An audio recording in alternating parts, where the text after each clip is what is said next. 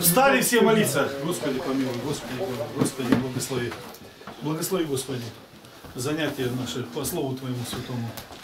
Дорог, Господи, нам всегда пребывать с Тобою. Всегда чувствовать эту силу и благодать, которую Ты даруешь.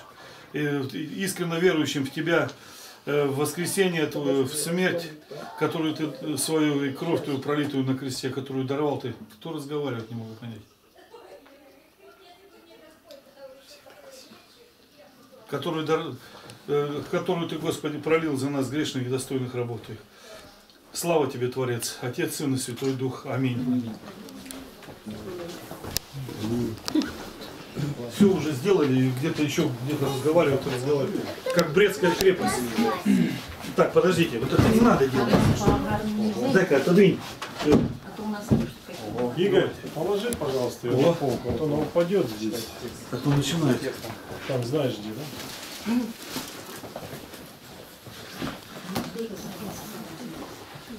У меня тут ручка есть. Аж проваливался назад. А?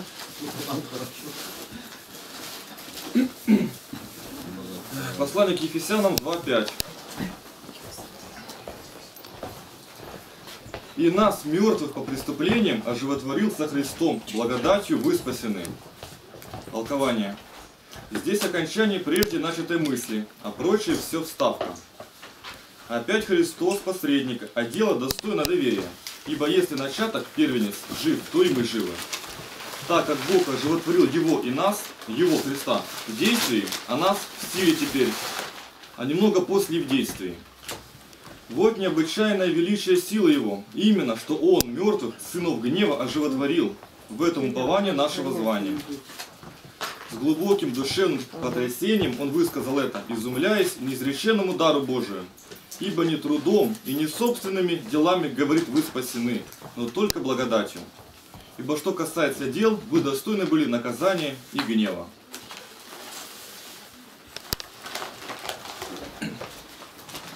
Есть какие-то мысли у кого-то? Мысли роятся. Дальше, 2.6. «И воскресил с ним и посадил на небесах во Христе Иисусе». Говорите. Встань спящий, воскресни из мертвых и осветит тебя Христос. Опять же, так же говорит апостол Павел. Здесь он, эта мысль продолжается. Спящий человек, кажется, спит. Но дальше написано, воскресни из мертвых. То есть этот сон для него, как смерть. А что за сон? Это сон духовный. Он не хочет духовно просыпаться. Поэтому, поэтому остается мертвецом.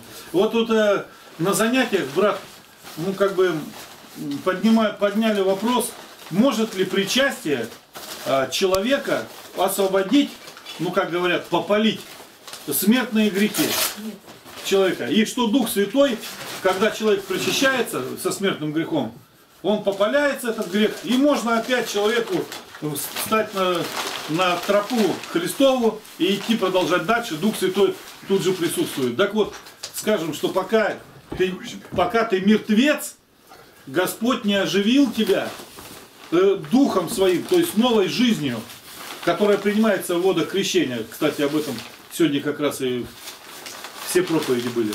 То ты не можешь быть живым. Тебя не могут сказать, а э, Игнатий Тихонович еще из, берет место Писания а, псалмы Давида, и там написано, э, Давид говорит, Господи, как скот был я пред тобою, не знал тебя. То есть не просто мертвый, а еще ты как скотина мертвая. То есть скотина это, у которой нет мозгов. А откуда это мы берем? Написано 52 и в 13 псалме. Безумный сказал, не, нет в сердце Бога его. И сказал безумец в сердце своем, нет Бога. И пока они не примут Бога, будут мертвецами все.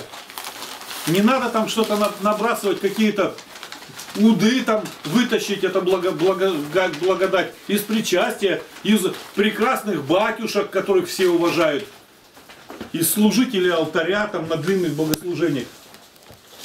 Ничего этого не будет. Можно продолжать дальше, если. Игорь, ну на тему эту Книга Откровения, 20 глава. Даже 21 глава. Блажен. Так, э, Воскресенье первым участвуешь. Да, воскресенье первое я тут от- открыл, а у меня тут что-то соскочило. Не, ну правильно, ну можно сам сказать. Смысл следующий, Да. что учение православной церкви у нас есть две смерти, две смерти и два воскресения. И вот учение о тысячелетнем царстве, что вот в 20 главе написано, и, э, э, и увидел я ангела, сходящего с неба, который имел ключ от бездны и большую цепь в руке своей. Он взял дракона, змея древнего, который есть дьявол и сатана, и сковал его на тысячу лет. И низверг его в бездну, и заключил его и положил над ним печать, дабы не причал уже народы, доколе не окончится тысяча лет. После же сего ему должно быть освобожденным на малое время. Вот этот эпизод, ну скажем, неправославные толкуют по-своему. А как толковать его должны православные? Брат, ты сможешь растолковать? Ну, разъяснить это место. Или я его разъясню? Тысячу лет.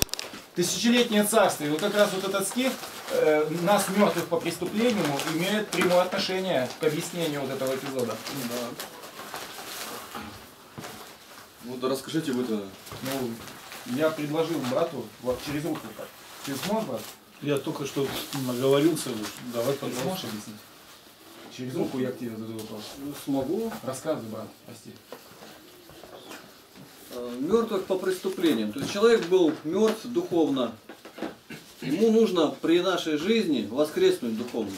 Блажен, блажен тот человек, который принимает участие в воскресении первом. Смерть вторая на ним не будет уже иметь власти. Вторая, вторая смерть это и будут говорит, брошены так, боязливых же и неверных, это 21 глава, простите, я 20 глава. Боязливых же и неверных, и скверных, и убийц, и любодеев, и чародеев, и идолослужителей, и всех лжецов, участь в озере, горящим огнем и серую. Это смерть вторая. А тогда где смерть первая была? Вот это смерть первая. Нас мертвых по преступлениям оживил во Христе. И ты должен, это смерть первая. Так, ошибка. Нет? Кто? Человек, родившийся, уже рождается мертвым духовно. Да. То есть первородный грех Адама и Евы, ну и грех ведет, э, смертный грех ведет к смерти, к смерти духовной. И.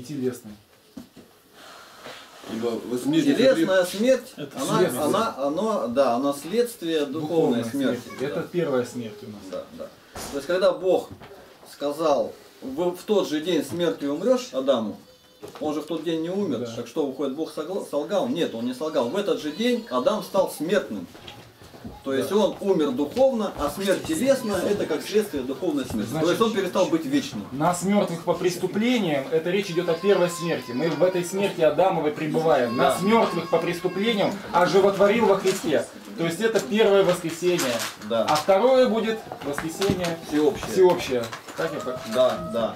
А смерть вторая тогда, Это- это, всеобщее воскресение для ада. Для ада. А смерть первая, не это всеобщее воскресенье, а наказание Ну, для ада. ну, это смерть вторая. Ну оно и воскресенье будет, потому что мертвых, как, он- как он будет А, ну мучиться? да, он, он да, воскреснет да. для того, чтобы мучиться. Да, это воскресенье будет и сразу в ад. Да, и как вы помнишь, суда. будут исхищены как бы из огня. Так а что, сектанты какой-то, они спасутся, грешники? Нет. Они спасутся от смерти вечной. То есть они... Шум будет. Пожалуйста, ты уже проверен. Я тебе же сказал сюда. Нет, сейчас будет меняться. Ты толкуйся. Потише. У вас большие антракты молчания. Замечание делать. Конкретно по тексту идите, а остальное там кровь. Ну, вот сейчас, как, да, разбираем мертвым по преступлениям. Ожитворился чем Христос. вопрос? Ну, где какая смерть первая, где вторая смерть? И в чем же творил Христос? Какой смерти? Да нам гадать даже не надо. Тут рассуждения очень простые. Господь впервые слово смерть произносит где? В раю. Смертью умрешь. Ну и теперь дальше второй вопрос. Где это? исп- Тут само за собой идет, не надо толкователей никаких. Если Господь сказал, дерево вкусишь, смертью умрешь. Адам вкусил? Ну это, это не Бог был, который говорил. А если Бог был, слово его не приложено, значит он умер. А как умер? Когда 950 лет еще жил. Умер. Бог сказал, в день, в который вкусишь, умрешь. А ныне, ныне дарует спасение. Почему Иоанн Златоуст и говорит, дьявол три зубец, три рожка, ударил и погубил человека. Как? Дева, на дева была в раю. Древо и смерть Адама. В Адаме все умирают. А во Христе все живут. Христос вырвал у нее и ударил. Дева Мария, древо креста и смерть Христа. Второй Адам. Толковать вообще нечего. Значит, первая смерть.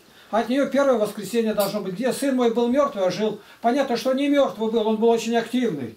Уметь растратить такое имение и нуждаться, и цепляться так за жизнь, когда свинья даже неприятно евреям была. А тут пойти пасти свиней, и не только пасти, а что от свиней оставалось-то мимо корыта.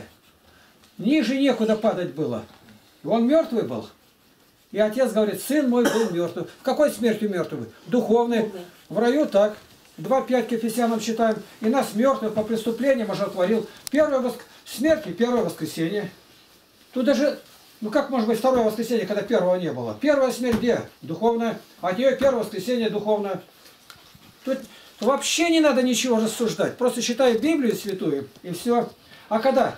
А когда тысячелетие Саша наступит? А когда свяжется, то связал на тысячу лет. Связал. Значит, слово «связал» надо посмотреть, где он связан. А как он связал, то и тысячу лет началось На кресте. 2.14 к евреям. И как дети причастны плоти и крови, то и он воспринял он и Христос, а Деву Марию, дабы смертью своею лишить силы, имеющую державу смерти, запятая, то есть дьявола, лишить силы, то есть он ее связал. Откуда известно? 19 это считаем мы э, у Матфея. Он говорит как? Как может кто, говорит, войти сильный, если прежде его не свяжет? Как расхитить сосуды его может? А он Христос ходил в преисподнем, сходил. Как он мог взять, если он не связал его? Владыка, а кто? Державу смерти имеет, дьявол. Это князь смерти. И все становится понятным. Да вообще ничего не надо толковать, надо только читать и думать, как покориться воле Божией. Значит, Христос его связал. Значит, тысячелетнее царство началось на кресте. Тысячелетие. А как же так? Блаженный свят, он был блажен, кто уверует во Христа. Понимаешь, насколько все открыто. И когда начинает что-то там шевелить, говорит, я вот думал, думать не надо, надо верить. Христос нигде не говорит, думайте. Это мы говорим, вот, что-то непонятно. Ну, думай, думай, как ногу вытащить. Так, ты, Нина, сегодня сказала, какая посещаемость была?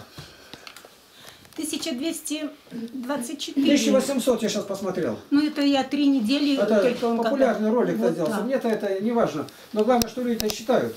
Для нашего э, сайта, это, ну, я только на этом сайте самая большая посещаемость была, когда Левиафан фильм был, там 160, кажется, тысяч. Ну, за счет чужого Левиафана-то, говорит, и наш Левиафан маленько подскочил. Там собака на дороге, вот это много. Ну, собака задавленная где. Посещаемость больше, чем к самому кинологу. Люди, ну, эти ищут такое, чтобы... Жареное. Ну, сегодня будет опять. Жареное. Лик патриархии, я написал уже. Завтра утром будет ставить этот ролик. Своим скажи, смотрите. Не утром. Ну да, к утру скажем, чтобы уже я постараюсь. Вот и все. Читай Вот дальше. Смерть первая, вторая смерть телом умер. И тело это воскреснет. Потом вместе одно. Нет, вот отдельно праведники воскреснут, потом на тысячу лет. Ну, мы вышли из баптистского собрания. И там Кропти был такой.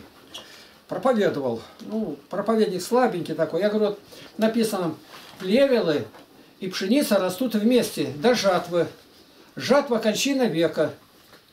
Вот это что поле, говорит, есть мир на поле. Он говорит, ну я и говорю, что церковь. Я говорю, поле есть мир. Мы всегда так и учим, что церковь. Я говорю, мир, считай, поле есть. Поле есть мир. Но мы говорим, что церковь. То есть, а нельзя сдвинуть уже, все. Во-первых, ты не в церкви, тебе не надо знать о церкви, это ничего. Ты, а раз ты... Ну зачем мне знать сейчас Эльдорадо, когда там никогда не буду? Зачем мне знать, где золото добывается, когда никогда не буду, не отличу я глыбу от, от золота-то? Мне рассуждать об этом не надо. Здесь конкретно. Он его связал на тысячу лет. А он сейчас как связанный. Связанный. Да как где он связан?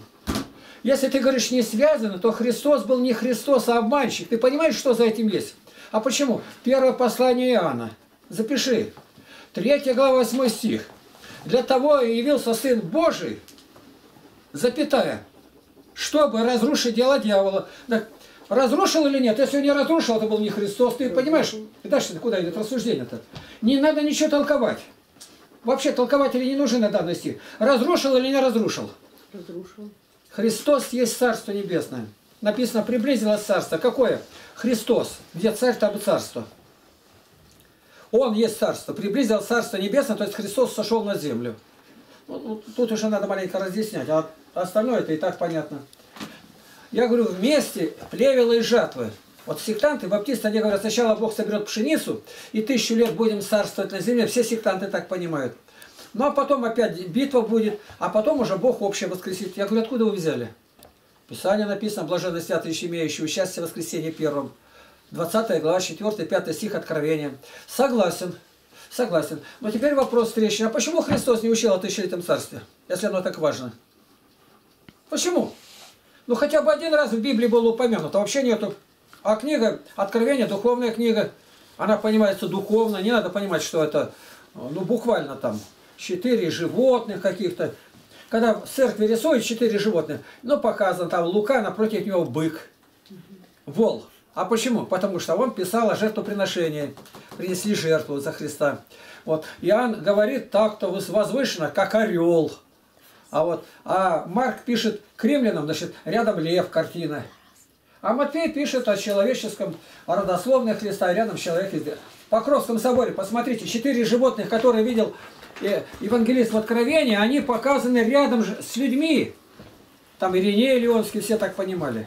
Тут надо толкование. Толкование святых отцов. А первое, второе воскресенье не надо. Да как, как тысячу лет? Уже две тысячи лет, уже две тысячи означает много в Писании. И падут после тебя тысячи, выходит, а если тысяча один враг, то уже не победит? И десять тысяч, тьма деснует тебе. Тьма, тьма это десять тысяч, тьма. Тьма. Вот и все. Некоторые не знают, может быть, как это пишется. У славян писал, смотрите, вот это вот, карандашик какой-то слабенький, можно взять у тебя? Ну, спаси Христос. Давай-ка. Вот смотрите, вот это вот буква А по-славянски, это один. Ну, примерно сказать. Ну вот она как пишется, это один. А если вот так вот пишется А, а, а и, рядом, и рядом вот так вот крестик, это означает тысяча. Тысяча. Ну, что-то слабо вышка пишет, мне, мне не, не понравилось. Вот, крестик, смотрите, вот так вот, около буквы А, это означает, это буква так я написал, вот она. Это тысяча. Это тысяча. А если вот так же буква А написана, и вот так вот окружена, это означает тьма. Тьма 10 тысяч. Цифра-то не писалась. Вот она, 10 тысяч. А если вот так вот стоит такая же А, и вокруг вот такими вот, ну как запятуш, это как запятыми вокруг вот, это легион. Это уже 100 тысяч. Это знаки так изображаются. В церковных книгах там, например, М, буква 40, ага, М 40, подпишем, это 40 страница. А, Мария, Мария это единица, Р, Мария это 100, и десятиричная 10, и Мария, допустим, ну опять, и вот начинает считать, сколько здесь есть. И вот так вот насчитывается 666. Ну цифры, сложи вместе-то, по именам-то. Я когда сидел в камере, у нас сидел со мной вместе, называлась камера академиков. За паровоз зашел, там первых секретарей судили, туда посадили, и преподаватель той группы космонавтов. Вот голова. Книги примерно по 340 страниц, вот это, а то он считал за день две книжки. Я его решил проверить. Я открываю, где он почти цитирует. Я ему говорю, ну-ка давай, а, Анатолий Максимович, вот, Лозин, фамилия его, Лозин, преподаватель той группы космонавтов. Я говорю, а вот 666 это буквы сложить. Но имя может быть из двух. Я ему взял все, которые есть, выписали. Из Матфея, родословную, из Луки. Выписал, какие имена есть. Он все записал. И вот так лежит на нижней кровати, это шконка называется. А вверху это прилепил вот так вот. И вот крутит, крутит. Так, нашел, щелкнул у него там. Мне показывает. Я сосчитал так, Седеки плюс Давид 666. Он следующий начинает там, Иван, и крутил, крутил, крутил эти тысячи цифр у себя. И, наконец, и Спиридон, тоже, я гляжу, 666. И когда он все перемолотил в уме, в уме, эту бумажку бросил, а на нее кто-то наступил. След остался, так я эту бумажку у себя вшил в архив. Вот кто рассказал мне про Туполева, про всех космонавтов. Последние слова этого у Гагарина были матерок. На букву П. Да все кончилось твое, Юрка, отходил. И говорил о Туполе, какой он верующий, какой он воздержан. О Королеве говорил, ни одну бабенку мимо не пропускал. А сейчас об этом везде пишут. Я из первых уст слышал. Вот мы в камере сидим, сказать надо профессионалам. К слову, прости. Самолет летит. Это летит он с севера, запада, запада летит. Так, это летит, летит военный самолет, четы- четырехмоторный. Внутри камеры сидит, он высчитал его, какая скорость? Да скорость у него небольшая, там 800 что ли километров. И куда он летит, это сказать трудно. Но база военная одна вот в этом районе, другая здесь. Значит, на эту базу летит. Половину пути он уже пролетел. Он никуда не выходит. Это я считал Абеля, когда арестовали здесь. Лучший шпион был в Америке-то. И повезли его с завязанными глазами. И чуть-чуть повязка. И он сразу определил, где летят, в какой город. Хотели тайно, чтобы он был. Вот таким надо быть профессионалом в священном писании. Я вот к чему говорю. Есть такой фильм «Профессионал». Французский. Есть. Вот так надо знать. Чтобы никакого спора не было. Сказал, а он не согласен, отойди. Я нашел ответ, он не прописан там. Ему это не входит. И все иногда говорят, я даже упрекаю людей, вот, подходят ко мне и говорят, а я в интернете вот нашел, про вас написано, я говорю, а ты поверил? Да нет, не поверил, но просто хочу вас уведомить. А зачем уведомлять, если не поверил? Поверил, ты меня хотел предупредить. Ну, маленько как-то засомневался. Так, засомневался. Ты меня знаешь и засомневался. Отсюда я тебя спрошу теперь, а ты молился? Если ты не молился, у тебя связи с Богом нет. Здесь там нету даже миллионной доли правды. Миллионы. Это не мои слова. Это слова, которые кто-то там послал, даже не православный-то, а те еретическое. А я поместил. Почему? Потому что газета, или я не обязан отвечать за это. Я говорю, анафема, решила об анафеме. Еретики православных про- проклинают, а те их. Я для этого поместил присланный мне материал. А, Игнатий, ой, Игнатий против икон. Это иконоборческий собор. Ему анафем. На меня прямо спустились, как это особенно, которые как-то называется не цензорский отдел, а миссионерский отдел. Это самые лютые стражи православия, то есть губители его. Церковь. Как они набросились. Я был в Новосибирске, мы на дому у одного священника, трое учились на священника. Я, отец Аким и Павел. И мы прошли полный курс семинарии у него на дому. Отец Александр Пивоваров. Божьей милостью проповедник, кандидат богословских наук. А у него брат, он сейчас в Академгородке, Борис, наверное, магистр богословия, очень грамотный. Он содействовал прославлению, канонизации архимандрита Макария Алтайского. Он много работает. Я однажды, глупость мужицкая это, я к нему возьми и скажи, знаешь, что он родной брат отца Александра. И я говорю, отец Борис, вот женщина-то заходит на сибирский это. Ну, маленько-то ну, надо учить-то их. Вот придут и идут вдоль стенок, и целует, и целует, и что целует? Тут змей нарисован-то, там садик-то, Георгий-то на, на коне сидит, она до коня-то не достает, а змей-то доста- достала и целует его в голову. Ну, можешь же сказать, ты хоть немножко-то. Я не так говорила, тихо, я хорошо слышал, потихоньку ему. Он ничего не сказал, отошел. И что думаешь? 96 страниц текста против меня написал. Игнатий иконоборец. Но печатать тогда было очень трудно. Но надо было, видимо, раз он протеерей, он поет отлично, он там вообще. Он пошел, тогда был Докукин, архиепископ Гедеон. А мы с ним несчетное число раз встречались, там часами беседовали. И он ему представил материал, Игнатий Иконоборец. Он посмотрел, говорит, отец, ты не делом занимаешься. А это означает, печати моей там не будет. А я про это услышал, отцу Александру говорю, пойдем к отцу Борису. А он выходит, я не знаю, в чем такой был раздетый, халатик там распахивается, как-то сразу. Одно дело он в форме там, а тут лежу как голубенок новенький. Поговорили с ним, и он ни слова не говоря, при нас этот трактат свой, трактат, стажу изорвал, печку зажег и сжег. И больше нигде не было. Иконоборец! Это так здорово выискивать врагов. А на мне какие звезды получали, когда у меня два отдела работали, КГБ. Майор э, Беденко Александр Семенович стал генерал-майором в охране этого Бориса Николаевича Ельцина. Какие звезды из-за меня получили. И когда на меня бросаются вот эти, э, ну, которые не- чем-то недовольны-то, они все заботятся о себе, а не о мне. Материал перед глазами. Тут в семинарии пишут э, дипломную работу Игнатий Лапкин. И куда они везде там защищают, лучше э, там премия- премии получают фотографии, все на нас. за нас и сколько молитвенников-то на земле.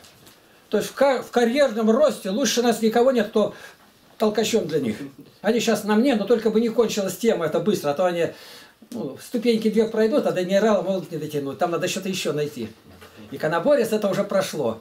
Что я седьмой Вселенский собор отвергаю, а еретиков принимаю, прошло уже вовсю. Пошли.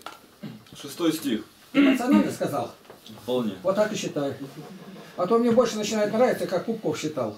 Четко, ясно, твердо. Но попросили тебя. Пожалуйста, оправдай доверие нема- трудящегося народа. И воскресил с ним и посадил на небесах во Христе Иисусе. Толкование. Как потому, что начаток и глава Христос, говорю, воскрешен, и нас через него Бог воскресил. Точно таким же образом, если глава сидит, сидит вместе и все тело. Посему говорит во Христе Иисусе, то есть потому, что Он восседает, и мы восседаем. Или же воскресил с Ним должно понимать не воскрешение, но об оживотворении через крещение.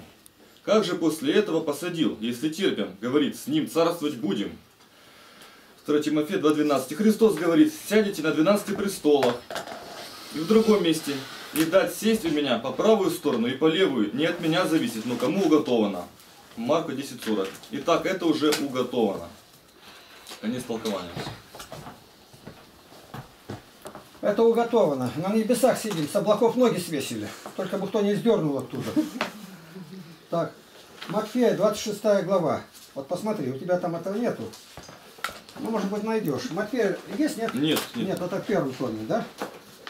Толкование надо или текст? Да ну неплохо бы открыть. Вот 26 глава, тут много говорят о причастии, попутно сказать.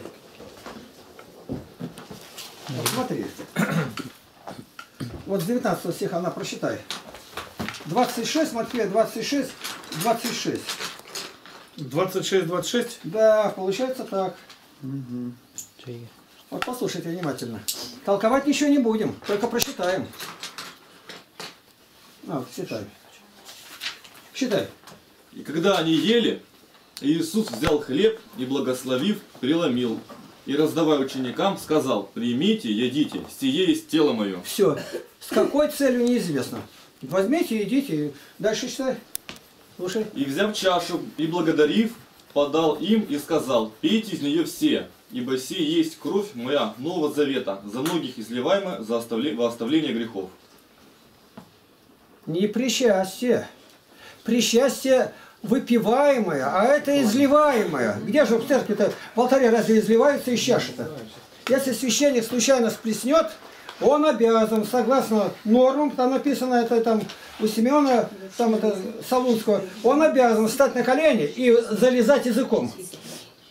Потом тщательно это выжигается. Выжигается. Какие-то там еще дальше. Вот как. А тут изливаем еще, должен ча- из чаши. Речь идет о Голгофе, конечно. Это все переместили в чашу. Этого нету нигде. Притом вот это изливаемое написано у четырех евангелистов. Четыре свидетеля минимум уже у нас. Ну, а мы знаем, автор-то Дух Святой. Изливаемое в оставление грехов, а не выпиваемое в оставление грехов-то. Так а что тогда причастие не дает прощения грехов? Я не, не об этом говорю, говорю, не написано. Не надо мне это приписывать, слова эти. Нигде этого не написано. А где? Да крестится каждый из вас в оставлении грехов. Тут прямо написано. Что ты медлишь? Встань, крестись, а мой грехи твои 22.16 деяния. 2.38 деяния. В оставлении грехов, да, придумали монахи, а монашество принимаешь, это как второе крещение. Слово второе крещение вообще отсутствует. То есть, понимаете, какие, какие труженики у сатаны, чтобы Слово Божие извратить. А кто? Он лжец, отец лжи. Не прибавляй к словам его, чтобы он не обличил тебя, ты не стал лжецом, не оказался. Притча Соломона, 30 глава, 5-6 стих. Чудные дела Господни. Господь говорит, если кто добавит даже в пророческой книге Откровением, наложит язвы, которые тут написаны, все. А которые отнимет, участие в книге жизни отнимет. Да хочу не прощается. А прощения нет, написано, говорит, что жизни не будет у тебя, жизни. А где-то шестая глава Евангелия от Иоанна. Прочитай. Шестая глава. Послушайте. Это единственное место, где говорит, с какой целью мы причащаемся. Стих какой?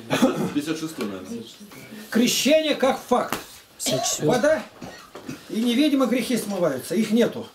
Почему священник так долго читает молитву, освящение, вот естество, естества вот, и как смывается, и там Да, да. нечистая сила. Когда считает и бес, который в бане, без полуденный, без знойный, без там морозный, все перечисляется. У них специальность большая. У них там такая ранжировка у демонов. Сильный бес. Игорь слабый, нашел. слепой. Господь говорит, бес глухой и немой, выйди из него. Дальше. Это 53 стих Ну Евангелия да, от давай. Иоанна. 54 еще. Слушайте. Иис- Иисус же сказал им, «Истинно, истинно говорю вам, если не будете есть плоти Сына Человеческого и пить крови Его, то не будете иметь в себе жизни». Идет дальше. «Едущий мою плоть и пьющий мою кровь имеет жизнь вечную, и я воскрешу его в последний день». Ни о прощении ни одного слова нету в Библии, нету. Но вот здесь говорится жизнь. Жизнь какая? На высоте, в Духе Святом. А это означает, не будешь грешить. Почему, говорит, таким не прикасается демон? В первом послании Иоанна написано, кто рожден от Бога, не грешит. Священники как огня боятся этих слов. Я говорю, ну написано, ну как же мы грешны. Я говорю, написано, объясни тогда стих. Он, он не слышит, как вот до сектантов о тысячелетнем царстве, замкнуто. Я говорю, написано, не грешит. Объясни мне этот стих. Не может. Я снова пятый, десятый раз, ну, ты не знаешь, знаешь, что грешат, ну объясни, да еще он написал. Ну как это можно было написать? Вот так и говори. Ты не веришь. А дальше, и лукавый не прикасается к нему. А почему? Потому что ты огнедышащий, когда ты причащаешься. Огнедышащий, священник тебя простил, разрешил властью данного. Вот тут прощаются грехи, покаяние. А в крещении это закрепляется, и ты животворящий, животворящим духом теперь как огонь пылаешь. Причастие. А? Причастие. Причастие. Вот так.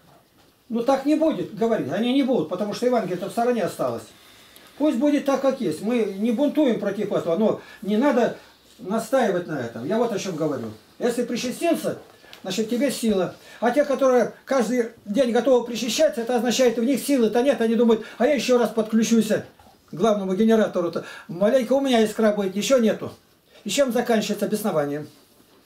Когда я говорю об этом, в ужас приходит. Как? Да это не я говорю, он болеет, и он умирает. Это Павел дальше говорит, кто недостойно, без рассуждения о теле Господнем. О теле, не о чаше, а о теле, которое на Голгофском кресте висело. Это за меня умирал. Это я должен на кресте. Православно это не вдолблено. Сектант любой это знает. Сейчас, подожди, я закончу. Вот какая мысль-то должна быть заложена. И тогда, если ты часто причащаешься, то в тебе что, ослабевает сила причастия через неделю, уже все, кончилось. Почему Иоанн Златоуст говорит, иные причащаются раз в два года. Ему хватает этой силы. Я за то, что причащались каждый день. Я голосую. Но достойно. Иоанн Златоуст говорит, не часто и не поощряем, а только достоинство. А какие каноны высчитывать, об этом написано. Так еще каждый день высчитывать. Ну, по-другому не могли, видимо, составители этих правил. Народ ничего не знает, да хоть каноны заставить, Богородицы просчитать. Но все считать умели? Не умели. Тут же заменили. Канон Богородицы это 300 поклонов. Канон ангелу-хранителю 280, я к примеру говорю. Вот столько-то, а поклоны тут уж любой может. Земной или поясной. Вот и все. Теперь смотри, руководитель. Сергей Павлович, говорите.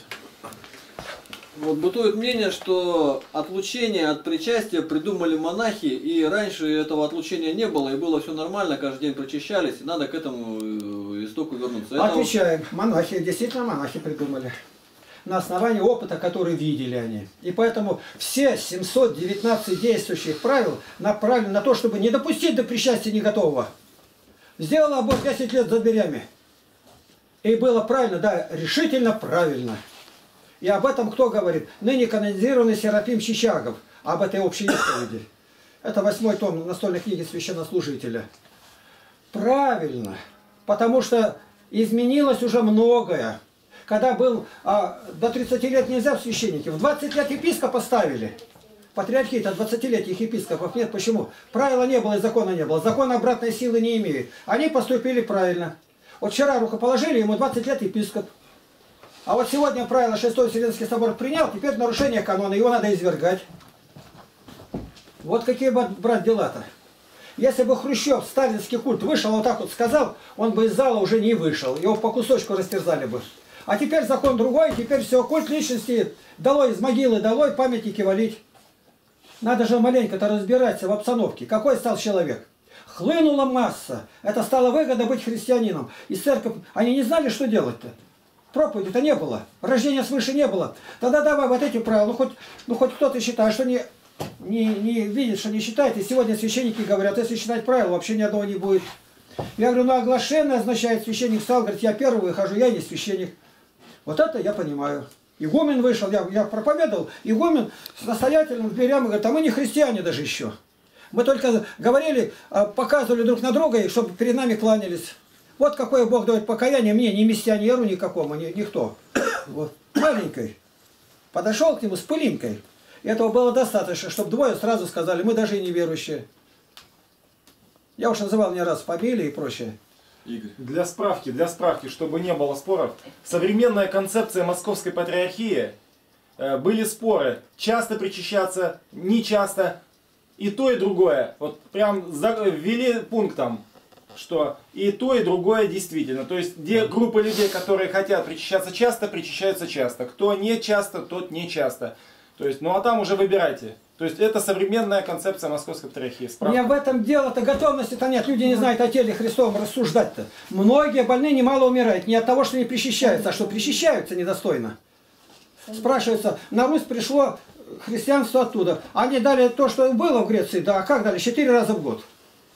Это уже пришло оттуда, оттуда пришло. И в России, как у старообрядцев, четыре раза в год.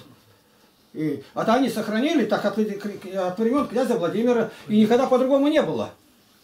Вообще никогда не было. И все 719 правил направлены не к тому, чтобы чаще причащайтесь, а к тому, что отлучается от причастия. Он колдун, Кашпировский крещеный. Но он решил причаститься. И узнал, так ты и есть Кашпировский, Анатолий. Так, на 18 лет правил. Все, на 18 лет, долой, пес смердящий. Облепился бесами, пришел сюда. Батюшки там, которые лечились, лечились у него, заряжали у чумука эти графины свои. На пять лет отлучается. Никто эти правила не отменял. С бесами, любезные наши батюшки, святые отцы знали, с бесами, многие лечились. А некоторые даже, а я его знаю, он у меня обедал даже. На два года за это отлучается, на два. Правила-то никто не отменял. Это святые отцы, трубы Духа Святого. Шестой Вселенский собор, второе правило гласит. Концепция. Не надо никаких концепций. Правила исполняйте. Они ничего нового не сказали, это Златоуст сказал, а теперь концепция. Да это-то они сказали на полторы тысячи лет позднее Златоуста. Надо идти. А вот сегодня, если бы ввели так исповедать, кто приходит и так, мы не можем исповедовать того, кто будет брошен в огонь вечный. А почему я должен? Чем я хуже других? Я спрашиваю, ты ходил на благовестие? Я? Да я не поп. Ну ты не поп, правильно, не протопоп. А ты знаешь, что если ты не благовествовал, у тебя вера-то есть, конечно, есть. А ты другому передал, умножил. Ну кому надо, тот уверует, и без нас. Ну вот за это ты отлучаешься. В канон надо вести. И отлучаешься не меньше, чем минимум два года. За два года ничего не представил, еще на два года. Как за пьянку. Выпивал два года, это канон есть. Не поститься два года. Я считаю, сюда надо вести вот это вот. Это было упущение. Не упущение, а полное отречение от благовестия. И поэтому православие пришло к полному краху везде во всем мире. Тут и 453 год Византия, тут 1917 Россия. Ни одна религия в мире на земном шаре не терпела такого краха, как православие. Почему? Потому что одна обрядность, живого Бога нет, помощи нет. И поэтому Сталин, семинарист, Каганович, семинарист, Невзоров, семинарист. Да и Гитлер в церковном хоре пел, оказывается. Сейчас планируется все православные, э, Вселенский собор, кто-то говорит это восьмой, кто-то не восьмой, кто-то Вселенский, кто-то все православные. Я использую все термины, чтобы всех удовлетворить, постараться. Да. Не ну какой-то большой собор. Мы ложь- Все православные. все все. православные, да? Нет, это не всемирный. А нужен ли Вселенский собор? Не знаю. Но я знаю, что общение всегда полезно. Но главное сегодня противники это, а может быть и защитники, монахи. Правила вырабатываться там будут церковные какие-то правила. Дорогой мой брат, не знаю, это не моя как говорится, профессия. Моя профессия та, чтобы свидетельствовать о Христе, идите проповедовать Евангелие. Я этим занимаюсь. У меня знаний-то никаких нету, семинарских-то. И это мое преимущество. Никто не, не отрезал мне по частям мой мозг. Я все время прислушаюсь, что Бог скажет. Вы слышали сегодня? Я тут встал и сказал батюшкам, а как ты узнал, что я в алтаре об этом молился? Никто, вы думаете, я с батюшкой договорился, а теперь я Конечно. вы- выказываю себя пророка какого-то. Можно? вот? Батюшка, ну по лицу его видно, что он не лукавый. Он, он прямо сказал, а я только об этом хотел сказать. Одинаково это Дух Божий делает так. Если на городском кладбище тебя никто не будет знать, и не найдешь там, а потеряевки, и панихиды, и дочь твоя там, и внуки, и родственники, все будут. Как это полезно. В Потеряевке, ты тоже сделай завещание на Потеряевку. Всем говорю, Потеряевки самые дешевые похороны. У меня там дочери. Никогда не надо, чтобы это, обивали гроб или что-то стружек наложили, как Сталину под бок, и все.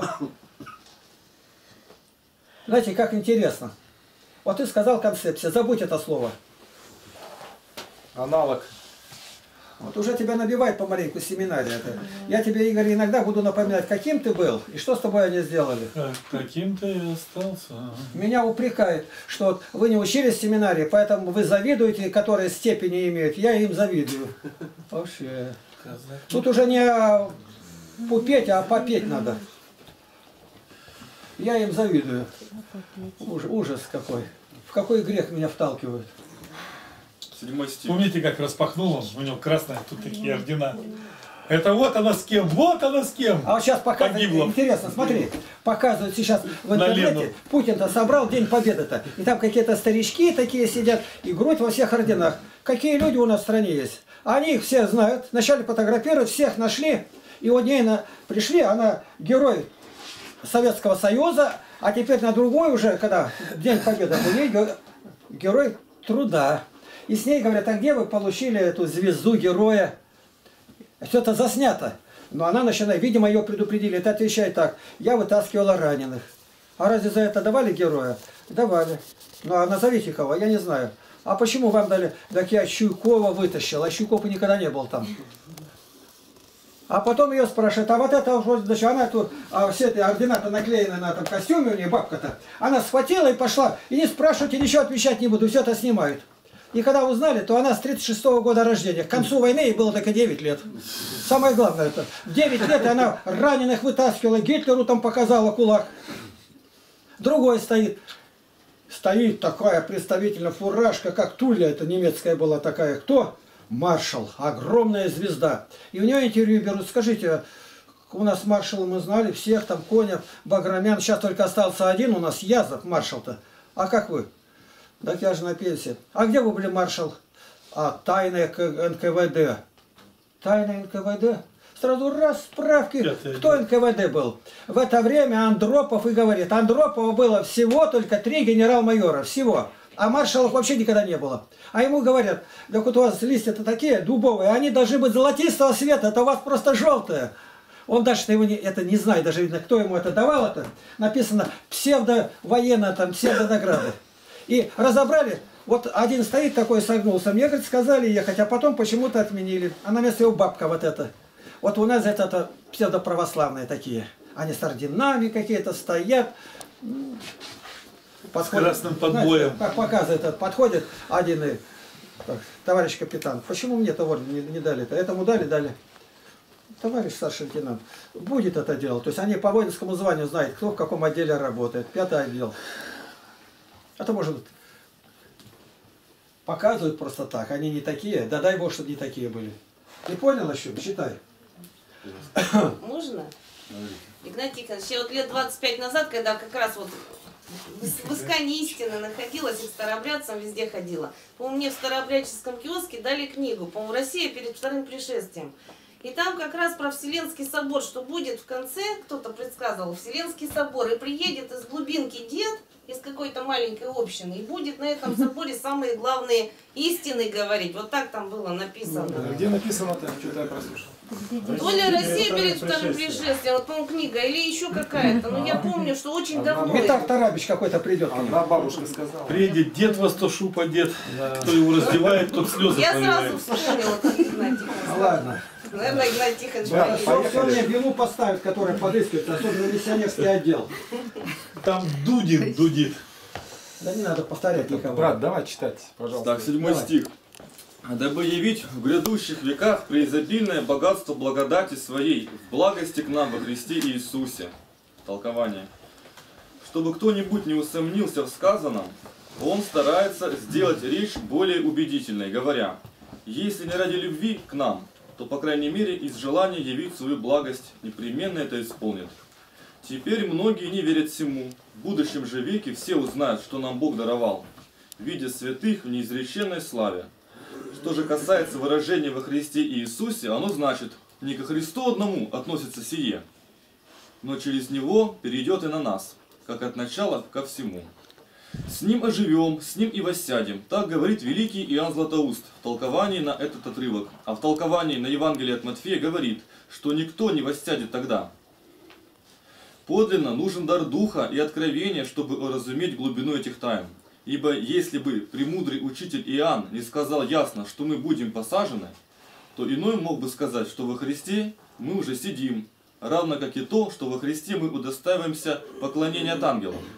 Ибо не мы лично удостаиваемся поклонения, но так как наше естество, соединенное с Богом Словом, приемлет поклонение, то и на нас переходит эта честь. В этом смысле и говорит теперь, что и мы воссядем. Конец толкования. Проще. Кто-нибудь объяснит? Вот э, я не знаю, как это относится к сегодняшнему времени, я поясню, конечно. Ну вот, допустим, до тысячного года, когда появилось толкование блаженного Феофилакта, то вот на эти слова интересная была мысль. То есть э, к шестому веку, э, по Рождеству Христову уже, епископы, епископы потеряли веру в воскресение Христа. И вообще они не верили, что Христос воскреснет. И кто бы об этом знал, потихоньку жили, не тужили, службы правили, деньгу получали, все было хорошо. И в этот момент приходит парнишка, хорошо, богато одетый на рынок в этот город, и начинает покупать за такие дублоны золотые, что все удивляются. Говорят, сейчас у нас монета тоньше, туда серебро добавлено, а это чисто золотой, прям по весу, как будто он где-то клад отрыл. Начинает его допрашивать. А оказывается, он один из семи эфесских отроков, которые убежали от Декия в гонение 251 года, спрятались в пещеру и воскресли только в 520 году. Вот так вот сели они в этой пещере, Господь как-то их завалил, там эти шарились, э, как раз э, с, были посланы воины. И вот они как э, костенели или что там было. И так же очнулись точно. И пришли и начинают беседовать с епископами. Епископы тайно беседуют с ними. Как так? Откуда вы? И ничего сделать не могут. Почему? Золото! У них, у одного он очень, там, у Кукса Диан какой-то там был. У него этих золотых дублонов полный карман был. Он богатый был. И у него деньжат всегда немножко с собой было. У него горстями. Они говорят, ты вы, конечно, ограбили, тут уж понятно. И никуда деться не могут, народ тут весь повалил, все знают, просто так не уберешь. Ну и, видать, немножко совести оставалось. И с этого момента, говорит, повернулось все, жития святых прям пишут, повернулось все в головах у людей. Вера воскресла, и это я почему говорю, к тому времени понятно все, а сейчас я не... Значит, если такое было, а почему бы еще раз не достигнуть этого? Но теперь нету этих семи отроков ефесских. Может быть, один отрок барнаульский какой-нибудь там, Потеряевский, ну, э, Откуда ты знаешь? явишь. Проснется где-нибудь. Подожди, ну я, я что и поясняю, я говорю, пока не знаю. Но если следовать этой концепции, то сегодня ни патриархи, какие у нас есть, ни епископы, они не веруют, не верят просто в воскресение Христа, что ли? Верят они, только вера, я поясню. Не то, что не верят, признают, они признают. Но Ну, поступки говорят, что как будто бы они же постоянно будут жить здесь. Да, да. Они не умрут. Потому что человек, который готовится переселяться в другую страну, он старается все свое сокровище скорее туда отправить, чтобы приехал там был, иначе пропадет здесь. Это означает, должно быть щедрой, милости, не судить из-за квартир, не торговать водкой, табаком, не, не делать то, что делают мирские люди-то. И надо помнишь, какие слова ты говоришь, это все на суде Божьем станет. Вот что одобрять надо, ободрять должно и быть. И по слову Божьему. Тогда, я когда читаю это, я даже представляю, которые враги там где-то, а они вместе, когда шелудят вокруг. А если отдельно его вырвать, на остров нас сейчас послать, он, он все другой. Он сразу все. И что надо сказать, э, в Коране у мусульман это единственное место из жития святых, которое упоминается ну, про да. отроков семь всеми христских вот. С чем это объяснить? Он это богомет видно, он такой любознательный был, и где-то кто-то ему сказал про это. Из христиан, конечно, не из иудеев. А как раз был только-только, это же 520 год, а, а он как раз где-то 550 ездил. Да. Это еще свежая была Свежая, память. да, память была. Ну, написано, в последнее время они счастливятся, вся вера, архиереи перестанут верить, это уже Серафим Саровский говорит. Как раз-то повторение это будет. Угу. Ну, судя по тому, как они себя ведут, там никакой веры нету. Он узнал бы, что человек верит, он бы старался его как-то выдвинуть. Но я иду, вот, тут Войтович-то рядом жил, с Гедеоном, архиепископом. Я ему говорю, мы с ним беседуем, все. Я говорю, Владыка, как я могу быть полезен для церкви? Ну ты же в церковь ходишь, мы идем, из храма идем, отслужили. Хожу, ну что тебе больше надо? То есть это у них эталон. Ты ходишь в храм, и на этом все. Хоть тысячу талантов у тебя будет. Ну понимаешь, нет, для того, чтобы обратить одного человека, быть настоящим миссионером, нужно иметь тысячи талантов. Тысячи. А сегодня он самый бесталанный, но лишь бы он только пес рвался защитить патриархийных, там не давал на епископа слово сказать, а епископ его гнобит. То есть он давным-давно образ человеческий потерял. Я их знаю. Вчера разговаривали нормально, а сегодня подыскивается под всякую мелочь везде. И я понял, что это их оплот гибели. То есть это щит, миссионерские отделы, которые не дадут покаяться и живьем в ад все сойдут. Вот мое мнение такое. Это самое опасное сращение с государством. И это сращение идет через миссионерское. Они нигде с обличительным словом патриарха не выступят. Архиереи не выступят. А им зарплату дают. Им золотишко откидывают. А если он добровольно делает, да разницы никакой нет. Море и сушу опоет. Ну и кем делает? Сыном гиенны. И вдвое худшим, чем они. Вот которые подписали эту де- декларацию Сергия-то, Сергия-то, а эти еще хуже у них вдвое. И не может быть другого, ждать просто не приходится. Но твое дело сказать. Это интересно, они нападают, а мне на душе такое ликование. Господи, за что мне такое ты даешь? Я им ответил все. Слова, конечно, такие для них грозные, а он сказал то, другое. Сказал. Ласковые слова Серафимова на вас не действуют. Господь посылает другое. И вас будут гвоздать. А почему вы не привязываетесь к невзорам? И какими словами сказал? Да я десятой, может, доли не сказал, или пятой, что протопоп Авакум вам сказал. В его житие самим написанное. Не говорите. Чего вы затрепетали-то? Ну не так. Меня обвиняют в чем-то, я обернусь, обо мне ли речь идет, не, не ко мне. Ну называй что-то там такое, что я сказал. Я тебе поясню, это не мои, это не я, вы не обо мне говорите. Мое это вот он, я, вот они лежат книги. Вот я перед вами. Вот один пишет, а Игнатий это, он, у него спина не гнется. Это означает, он нигде каяться не может. Вот я стал перед иконой, могу я кланяться или нет? Господи Иисусе Христе, Сыне Божий, помилуй меня грешного. Слава Тебе, Боже наш, слава Тебе. Могу ли я не кланяться, когда у меня каждый день минимум тысяча поклонов? Но уже однажды он сказал, он не может от этого вырваться. Ну ты же видишь, что я кланяюсь налево, направо, назад, наперед, как угодно. Земной поклон могу сделать, смотри. Как? Все, понимаете, э, э, разогнуться в сапогах-то трудновато. Ну и что сегодня я поделся как по-праздничному. Спина не гнется, и отсюда вывод, значит, он непокоривый. Да кто же так решал-то? Да Господь, наоборот, к убогим особенно расположен. И умудряет слепцов. А он не слышит, значит, он как аспид глухой. То есть это миссионеры. То есть большего поражения по патриархии никто не несет, как они.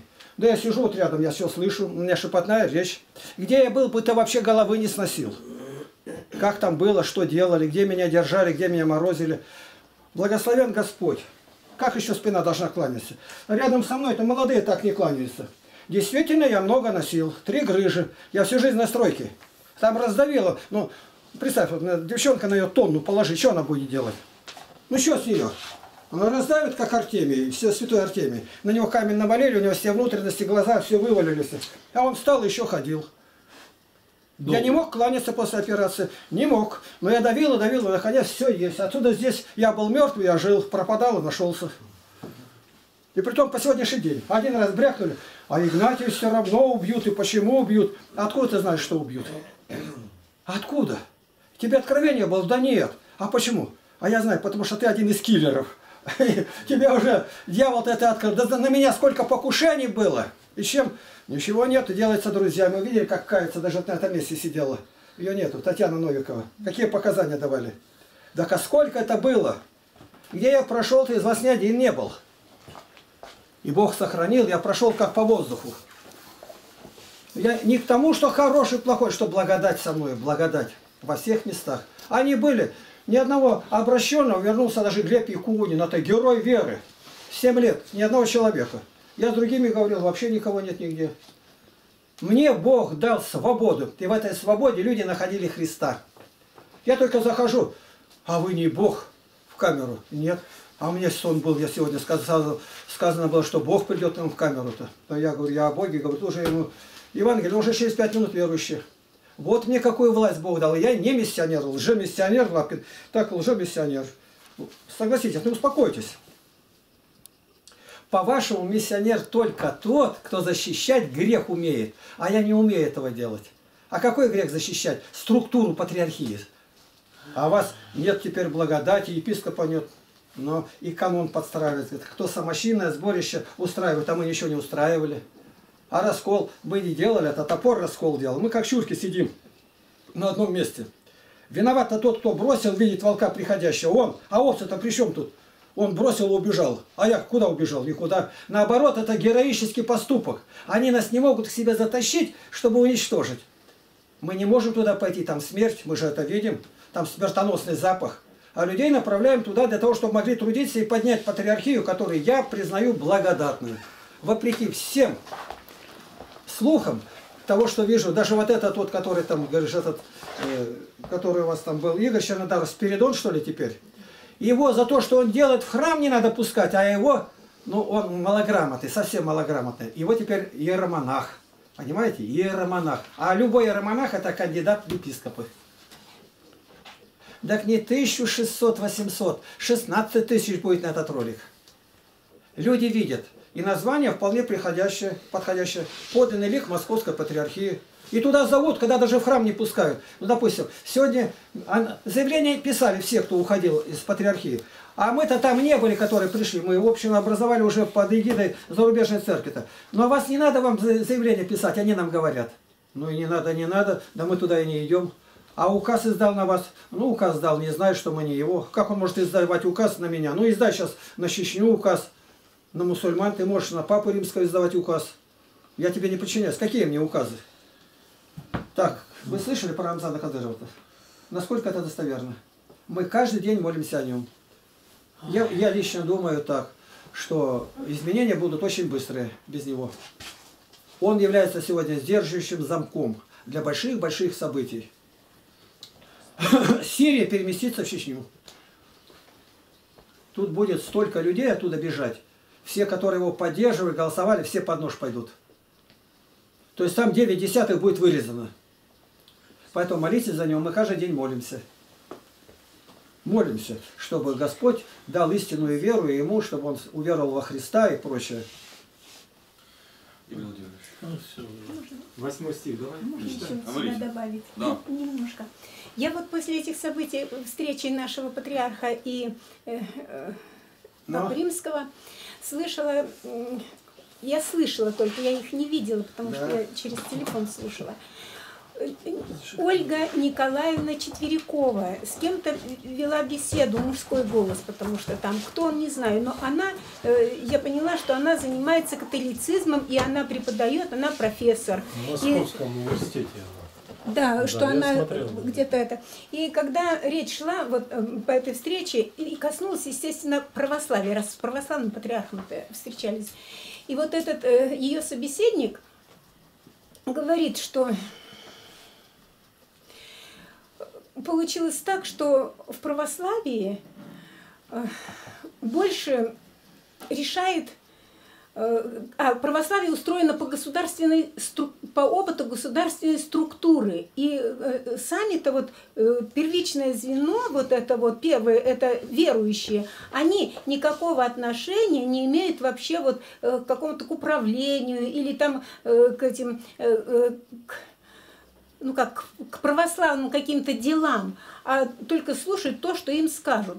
И получилось так, что э, православие не имеет, ой, как там, как бы народ, что ли, не участвует Да, в он, этом. что он не участвует вот в это, этом. Обобщенно. это все Чаплин сказал, когда вышел оттуда. Это все И, написано. и ч- и вот я слушала, тоже Чаплина слушала, и я смотрю, вообще-то об этом заговорили. Да. вслух Сколько уже. там этих причиндалов, которые обслуживают что-то там, а не верят. Любая бабка может прийти и его, им пренебрегать и говорить, если она там имеет какой-то вес. Он это все открыл, не надо даже время тратить на это, что они не знают Бога.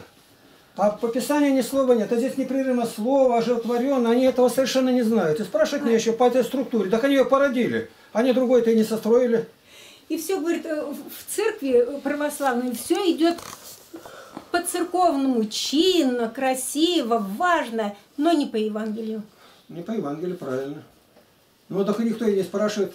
А когда своими словами, так сразу запрещают. «Да Вы что тут придумали-то? Своими словами по молиться. Да кто когда молился-то? Тебе молитвослов чинно, все. слову А что говорится, открывай свои желания перед Богом? Ну, Это даже никакой роли не играет. Да, там интересно. Так Мы должны это знать и другим людям это. говорить. Наша миссия это в чем-то заключается. Православные люди добродетельные, хорошие, Евангелие не знают. Их надо к этому приводить. Благодаря вот тому, что делают сегодня миссионеры, многие-многие уйдут из православия еще. Они смотрят на них, как на лютых волков. Это слово «лютое». И когда я им говорю, слово «лютое» опять повторяется, и лютой ненависти ненавидят они меня. Люто. Потому что я показываю, это совсем не то. Сколько лет вы работаете, вы не знаете Бога, как надо обращаться с людьми. Тысячи талантов, чтобы обратить. А чтобы го- готово покрестить, не мочить по-нормальному, не нужно ни одного таланта Златоуста. Достаточно быть священником, чтобы... Они и крестить не хотят, не могут. Это разрушители православия все. Восьмой стих. Восьмой стих. Никита, смотри, кто показывает. Я поняла тоже. К этому месту, вот у Фе- Феофилакта Болгарского тоже, Христос, говорит, мертвых воскрешал, а этих фарисеев обратить не смог. Намного больше нужно талантов, чтобы обратить, чем воскресить даже. Ты гляди, надо. под- под- гляди, Восьмой стих. Читай, братья. Я вот для чего поднял. Читай, читай. Ага, восьмой стих. «Ибо благодатью вы спасены через веру, и сие не от вас, Божий дар». Толкование. Сказав о том, что касается Бога, именно, что мы спасены благодатью, присовокупляет и то, что принадлежит нам через веру, чтобы не нарушить свободы воли. Снова как бы уничтожает это, говоря, что и вера не от нас, потому что если бы Он не пришел, если бы не призвал, мы бы и не последовали бы. Как веровать, говорит в того, каком не слышали. Римлянам 10.14. Так что и вера – дар Божий. Или иначе. Не вера называет даром Божиим, а спасение через веру. Вот что есть дар Божий. Ибо пусть вера и наша, но как бы она одна могла спасти, если бы Бог не благоволил принимать нас ради ее, чтобы не совсем быть нам безучастными в деле нашего спасения, но являться приносящими нечто и от себя. Я не согласен с этим. Тут Вера не дар неба. Откуда? Вера ты не будешь, если ты не избран. Кого предизбрал, тех определил. Бы- Вера это великий дар неба. А дальше дар продолжается в том, что он воплощается в Я жизнь. наоборот понял, что все. Благодать обращаешься, это вопреки того, что есть. То есть он другой смысл закладывает здесь. И Он, может, правильно говорит. Что это не тот дар, который спасает. Вера мертвая бывает, а именно спасение, когда ты исполняешь. Вот так надо доб- добавить. Ну, говорят, что вера не от нас, потому что если бы он не пришел, если бы не призвал, мы бы и не последовали бы. Вера это дар, понимаете? Да, Да. Тут и дар и, ви- и дар и вера, и дар, и, И дар дар- спасения. Все Вот, дар. а дальше благодать по ступеням идет. Ибо вы спасены через веру, и сие не от вас Божий дар. То есть все и вера, и Да. спасение. И а вера, и спас- спасение во Христе Голгофа. Вы всегда повторяете это. Голгофа и кровь Христа. Неразрывно. Православные вообще не знают. Чаша, батюшка и дальше все. За то, что человек не причащается, ну как они поняли, там чаще раз в месяц, и отлучать. Нет этого. За, за всю историю мировую никого не отлучили. А канон там как бы говорит об этом, хотя совсем не об этом, о готовности. Я не готов. А дальше уже начинает подыском, уже селом затаскивает. При счастье никогда не тянула церковь, а наоборот только отталкивала. Всегда, все до одного канона говорят. Все извращено вот так вот. Ко мне подходит человек один и говорит, даже вот, ну совсем маленький ребенок, как только причастится, визжать аж начинает. Вот что это означает? Так, не- непонятно же, что что-то не готовое. Маленький ребенок тоже может делаться вместилищем. Ребенку демонов. Ребенку не полных 6 лет, и отец его держит на руках. А ребенок матерился ужасно. А матерятся дети страшно как, в детском садике еще. И кричит, они меня тянут к себе, отец-то никого не видит. И наконец он только вскрикнул, и душа вылетела. Шестилетний ребенок. Куда он пошел? Вот так. Так что вопрос очень-очень серьезный. Ты должен иметь жизнь. Жизнь дарует Христос. Это как донор. Новая кровь тебя обновляет, ты оживляешь. А насколько она может быть? Ну, я точно не знаю, но примерно на 47 лет хватает одного причастия. На 47 лет. Мария. Человек, человек услышал о Боге, не поверил.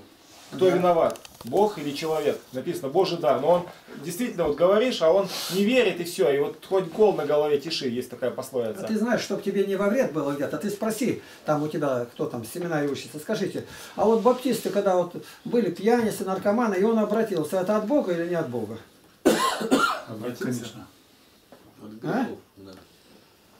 И вот он, вот он сейчас, это патриарх говорит, папа, и патриарх подписался под этим. Вот такой-то, такой-то. И он приехал в Индию, и 20 лет работает с прокаженными лепро. И он едет, у него один сын 10 лет, а другому 5. И в машине живем сожгли обоих. Он в Индию, зачем он приехал? Человек такими талантами, все оставил. Но он не православный и не католик.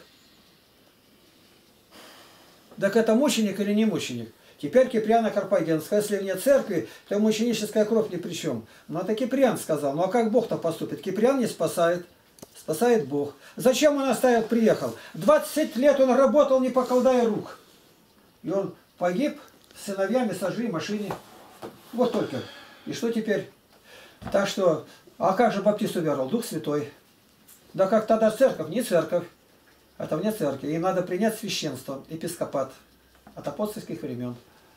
Вот. А это дело Дух Святой, но они на первой ступеньке засохли. Они обратились, уверовали. Дальше идти надо, дальше надо идти. Вторая ступень – это принятие церкви. Они на нее никак не сходят. Где двое или трое?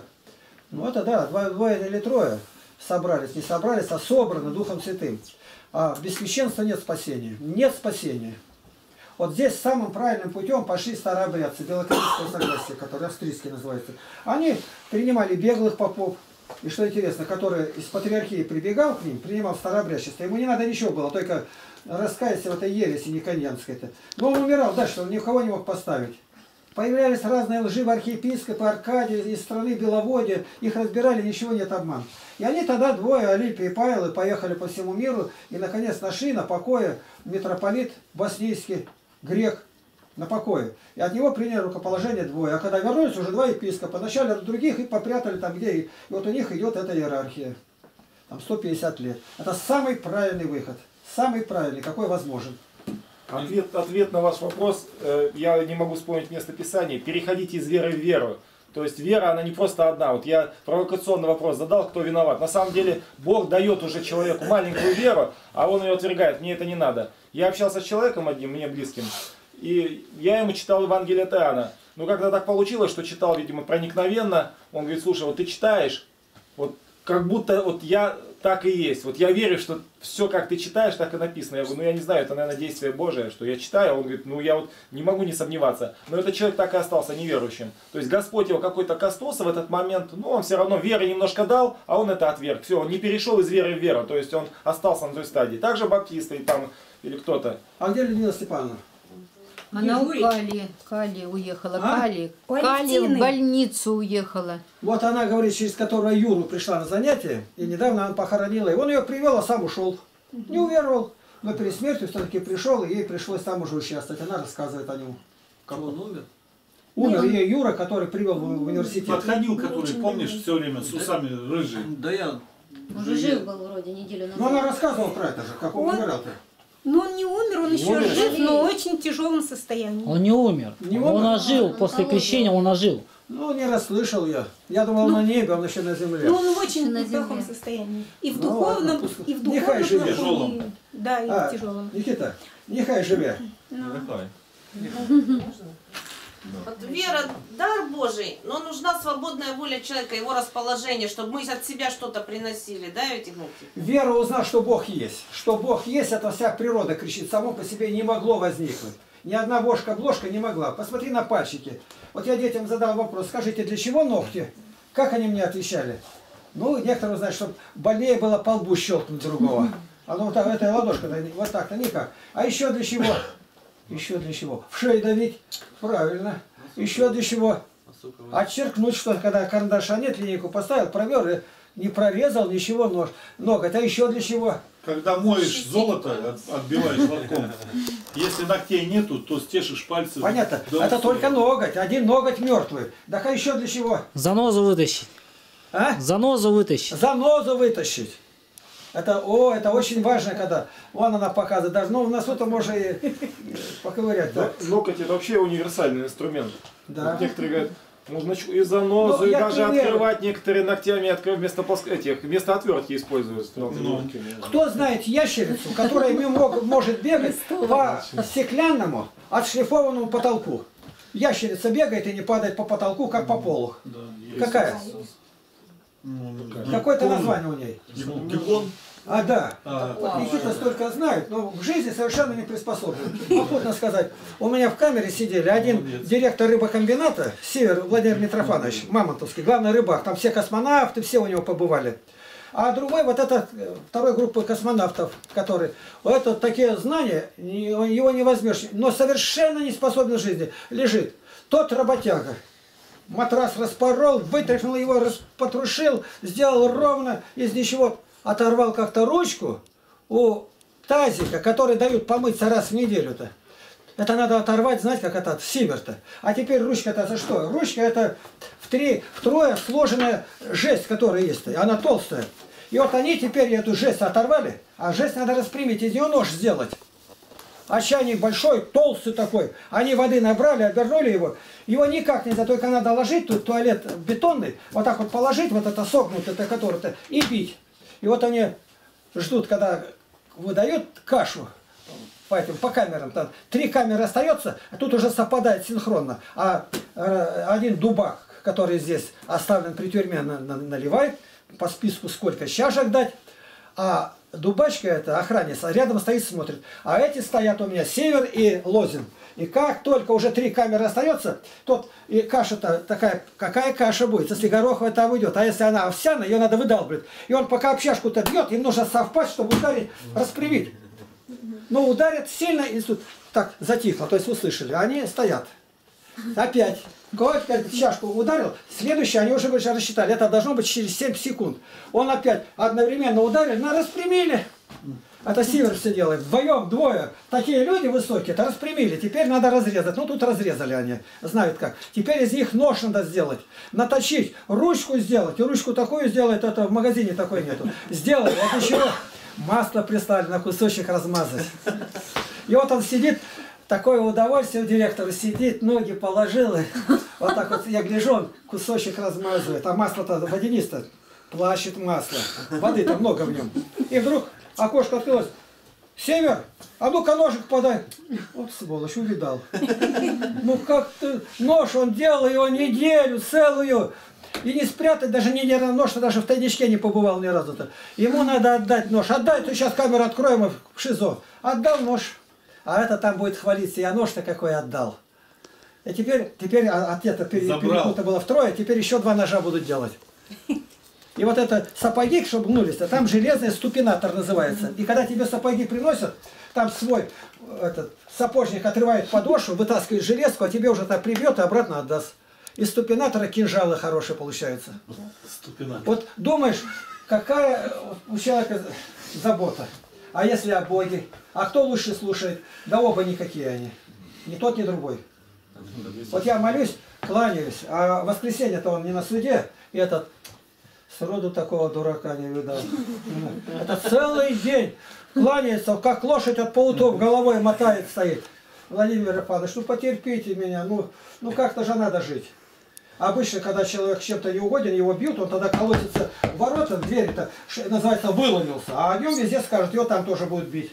А я молюсь, и он еще не выдержал, как давай писать заявление, уберите меня из этой камеры, я уже с ума схожу от этого лапы. Ломится от меня, от молитвы. А когда она, а он один сидел в камере, а меня подсадили. И когда поднимается, все говорят, тебе теперь, небось, хорошо с ним. Хорошо, я почти с ума схожу. Он молчит, только молится и молится. А потом, потом начал слушать. И умер по-христиански. Ярый был коммунист против. Это жена рассказывает. Нина Ивановна, мы к ней ездили, Володя, помнишь? Там она ему иконки принесла, все. Ну, то есть, что можно было, говорит. Считай. Интересно. Есть, есть. Девятый стих. 15 минут. Не отдел, чтобы никто не хвалился. Толкование. Это не значит, чтобы Бог отверг нас и тверг нас, имеющих дела. Но то, что и тех, которые погибли бы с делами, спас благодатью. Так что после этого никто не имеет права хвалиться, ибо слово «чтобы» выражает не причину, а последствия дела. Конец толкования. Все Божье.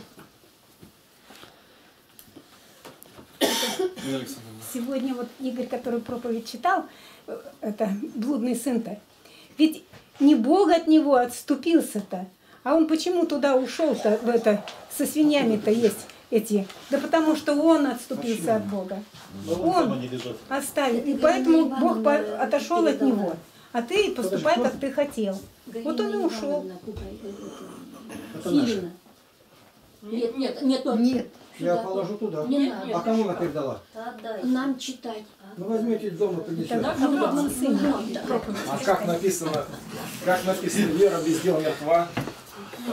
Она чистая, не мне запачкана. веру. Ну, конечно.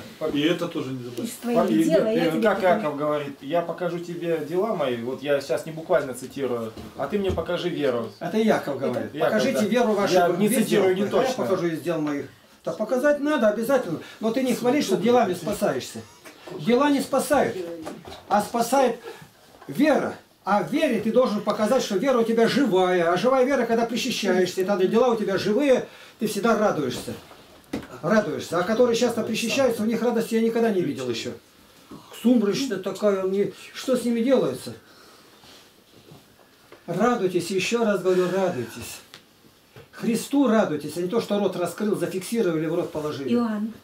Тут вопрос просто поднимается. Делами мы спасаемся или верой? Вот защитники э, делами, это Евангелие, от- ой, Иакова послание рассматривает. Кто говорит верой, тот послание к римлянам. Вера, они там может начинают живая и мертвая. Лбами, да. Вера-то. Нам ну, вера живая спасает, вера. А живость веры подтверждается вера без дела мертва, она бесовская. Ты думаешь верить? Это бесы веруют и То трепещут. есть мертвая вера это факт. Я верю и ничего не делаю. Ничего не Живая делаю. вера, я верю и делаю. И делает против даже, но верит. Верит и как бесы. Я хотел сказать как раз о миссионерстве, хотел я сказать.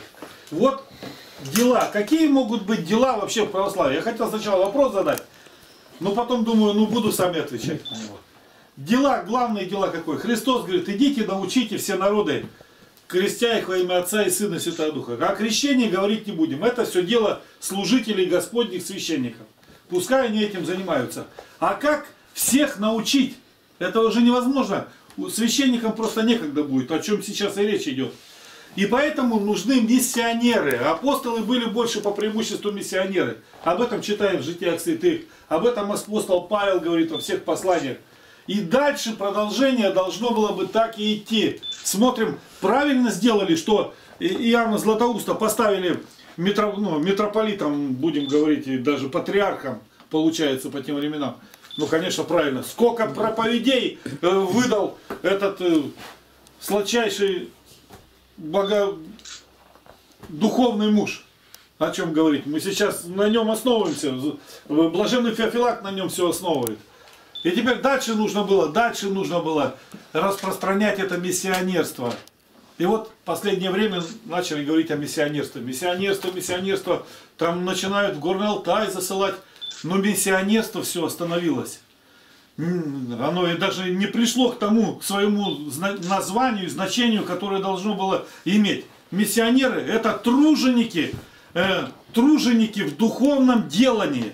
Это люди, молодые там или они старые, любые среднего возраста. Они должны быть благочестивые, искренне верующие в Иисуса Христа, а хорошо знающие Слово Божье, песнопения духовные различные знающие, и которые могут идти и сказать людям в любом месте, в горном Алтае, в, в- в равнинном Алтае, и не, и не в Алтае, хоть где, по всей вселенной.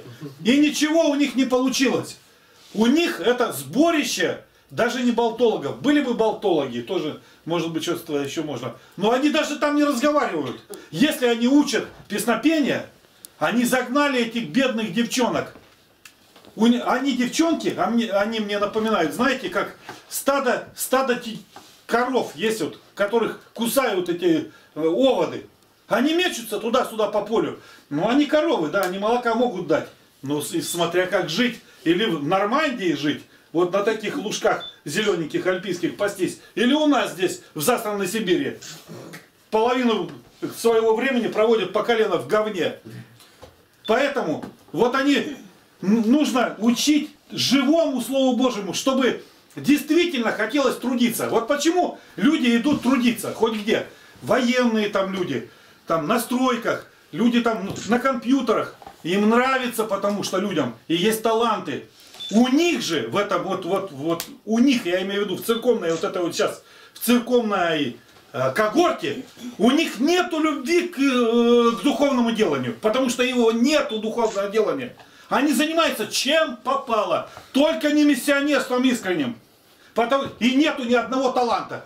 Как не посмотришь, один талант на разрушение. Увидели, что и как, э, ну, не по их. И сразу как овчарки, как будто фашисты спустили на бедного бегущего этого из концлагеря военнопленного. А эти военнопленные мы практически всегда.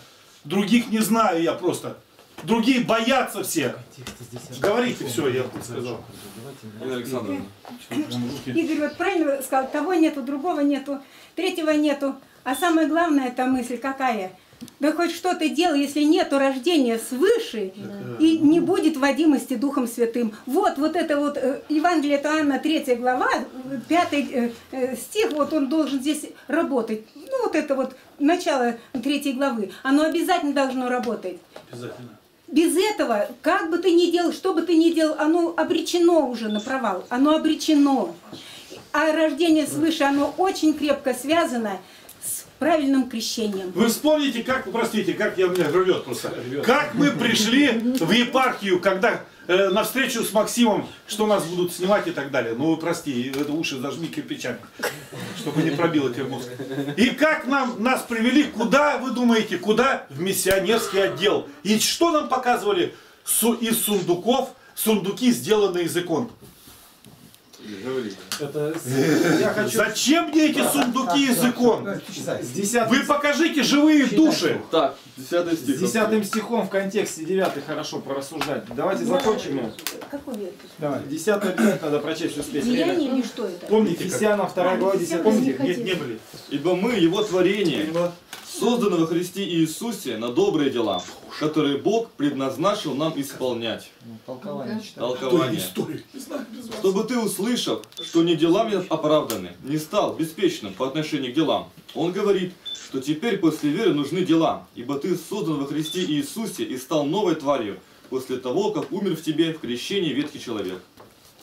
И как вначале ты призван был от небытия к бытию, так и теперь призван к благобытию. Это в начале этого творения. Ты создан не для того, чтобы быть бездеятельным, но с тем, чтобы делать и ходить в добрых делах, то есть весь путь жизни совершать в них. Не два или три года, а весь путь твоей жизни, ибо на это указывает он словом «исполнять». Ибо Бог предназначил к всему. Поэтому нельзя уклоняться от этого определенного Богом дела на добрые дела, не на одно дело, а на все дела. Ибо если будет недостаток в одном, нарушается добродетель. А Григорий Богослов выражает выражение «созданы на добрые дела» понимал не в смысле создания в крещении, но относил к первому творению.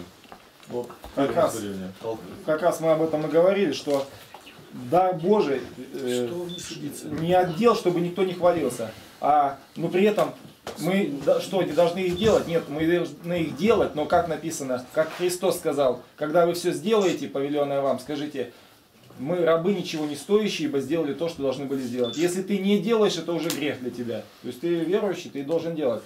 То есть все. А я не буду делать, потому что не отдел же спасаюсь. Я же не отдел. Нет, ты должен делать. Но на дела не должен надеяться, потому что написано не отдел, чтобы никто не хвалился. То есть хвалиться делами не Божьим.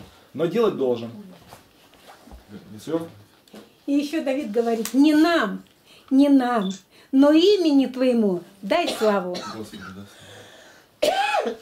И И все-таки еще раз хочу прийти к общему знаменателю. Дело все в том, что мы сейчас разговариваем, вот это вот мы беседуем, мы рака за камень заводим, понимаете? Опять же.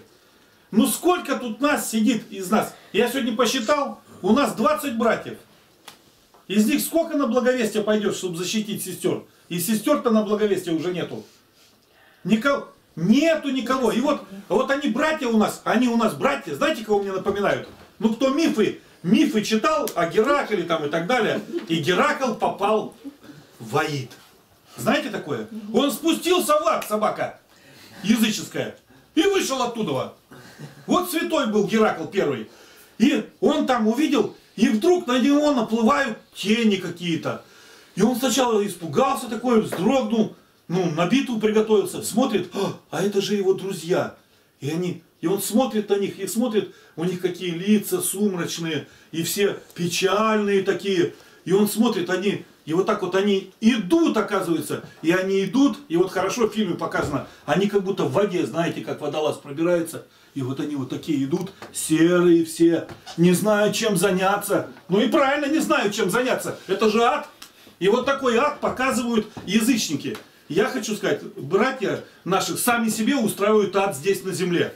Прошли терами синями, поклонились, а? посма- огляделись, как туман, и нету никого. Где все эти братья? 20 гигантов, великанов, легионеров. Никого нету. А все должны идти мисс- миссионерствовать. У нас радость должна быть. Аж должны тут, вот это вот здание должно подпрыгивать все. Вот такое должно быть пламя. Сели все, рассосались. Слово сказать. Слово сказать. Хоп, как грибки. Вот если такие танки, они вот так опускаются. Опустились. Хоп, рассказал туда. Ага, приподнялись. Опять раз опустились. Опять ага. У меня вот так вот э, собачка. Скажешь на нее что-нибудь, она раз вот так выглянет один глаз.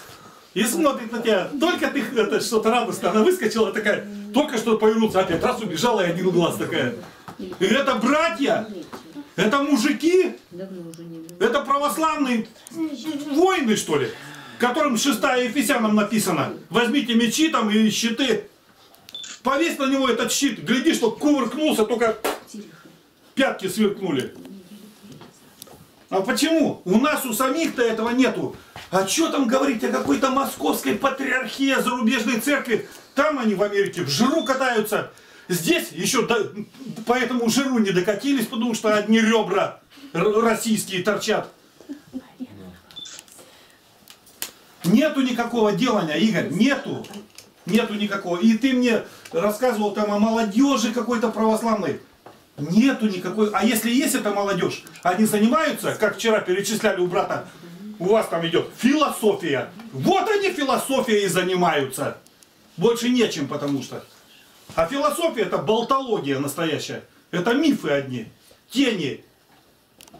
А вот так выйти просто и вот с этим Евангелием пойти, раздать и каждому человеку прочитать прям, если на то пошло. Нету никого, никто не верит. Игорь, мне одна скинула Юля. Какая Юля еще пока не знаю. И вот смотрю, вот братья раздают Евангелие. И люди не хотят брать. Так печально. И Ужасно. кладут, говорит, сумку хозяйству. Ну вот кто-то принял. Я дома одна, я ликую, говорит, радости конца нету. Кто-то взял, прочитает. Так что вы проходите, вы не знаете, сколько радости и печали еще приносится за этим. Слава тебе, Господи. Так что, знаете, вы уже заранее уже разделяете людей через эту книгу Евангелия. Да. Вот так. И самое главное, радость в чем? То, что Евангелие заканчивается, когда мы, ну сколько там, 3-4 пачки раздали по 20 штук. Я говорю, братья, у- а там еще Евангелие есть, там, где мы берем. А у них, знаете, как у еврея, где, говорит, деньги взял? Да в тумбочке. А в тумбочке откуда? Да, жена положила. А жена откуда взяла? Из тумбочки. Так и у нас Евангелие. Вот где взяли? В, в тамбуре. Еще откуда-то раз опять. И Евангелия берутся и берутся. Господь как нам. То брат откуда-то привезет, то еще братья откуда-то. И Евангелие постоянно есть. И мы можем идти и людям давать целое Евангелие. И не одно, а четыре. Да где такое видано было? Я вспоминаю 89 год, когда Библию купил за 25 рублей вот такую вот на папиросной бумаге. 25 рублей тогда, кстати, это было четверть зарплаты месячной. Все, одна минута. время благодатное раздавать, да, действительно, сейчас завали Евангелиями. Я вспомню просто, в Горно-Алтайске был на службе патриарха, как-то удалось, там кордоны, защита прям слой за слоем, прям там охрана, прям на охране. А меня там один батюшка благословил, иди, говорит, раздавай Евангелие. Ну, не было их там, я вот сколько успел привезти, там у меня четыре пачки было, я даже не ожидал, что разрешат. Одел красную футболку, мне поставили, дали там послушание стоять. А, Ну, это же как раз его было, или патриарха. Да, и я вот, вот с такой пачкой иду, там всех проверяют, там эти металлоискатели, я вот так иду с этими Евангелиями, зашел и пошел, и вот как раз, я говорю, служба идет, а все люди подходят, там было одно дело, там воду раздавали после причастия, там много. Ага. А я тут стою, мне сказали бабушек охранять, потому что там брат, братьев набрали, а я регулярно ходил в храм. Вот ты будешь, ты, вот на меня все. И говорит, и ты еще будешь раздавать. Ты же любишь это. Я там показал, что вот видите, из, э, патриарши, ну, по благословению патриарха, издательский отдел и так далее. И вот 80 штук разошло все люди. Я даже боялся, что на меня камеру направят, потому что там служба идет. И, а тут толпа, люди скопились так, и как-то все бойко пошло. Я даже так думаю, надо же сейчас. Ну хорошо, они кончились по-быстренькому, а то вы тут люди как это. У нас люди на какие-то торжества очень любят разбирать Евангелие. А вот так вот просто пойди в будний день. Ну, очень это сложно, очень. Какие-то праздничные время Все, все уже, все. Все, да. Христиан 2.11 закончили. 50 секунд закончились. 10 закончили.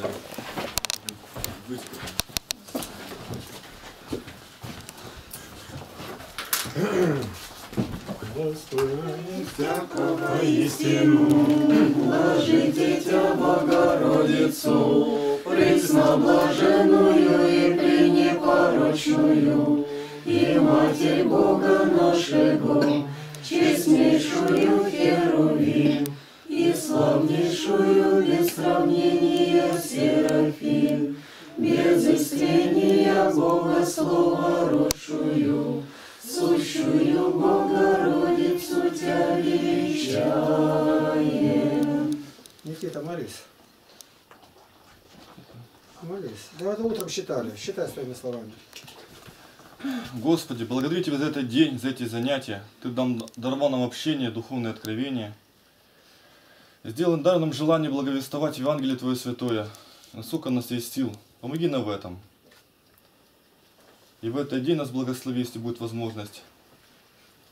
Расположи сердца людей и нам даруй, даруй смелости и просвети наш разум словами Священного Писания, чтобы могли люди услышать живое слово живого Бога. Тебе слава веки веков. Аминь. Господи, прими нашу молитву воздеяние рук, как жертву вечерней, благоухание приятное перед престолом благодати Твоей, Владыка. Боже Всемогущий, соедини нашу молитву с молитвой всех святых, молящихся к Тебе на небе и на земле. Услыши и исполни молитву всех молящихся о нас во благо нам. Господи, прими нашу молитву о всех, заповедавших нам молиться о них. Спаси их и помилуй. Вразуми правителя, наведи страх Твой на них, дабы мудро управляли народом Твоим, сохрани их от покушения на них. Патриарху, епископам, священникам, пастве даруй духовное рождение свыше. И доведи всех до желаемой пристани, до царствия Твоего, и введи в него навеки. Тебе, Господи, слава, Тебе хвала, Тебе честь и поклонение, Отец, Сын и Святой Дух. Аминь. Говори, Господи, Владыка, слушает и слышит раб Твой.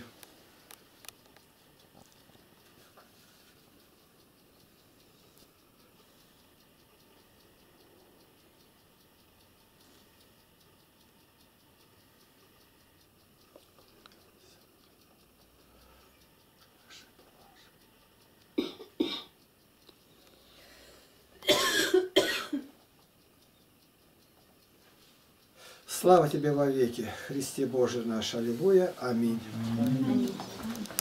Спасибо, Христос. Слава Иисусу Христу! Закрывайте.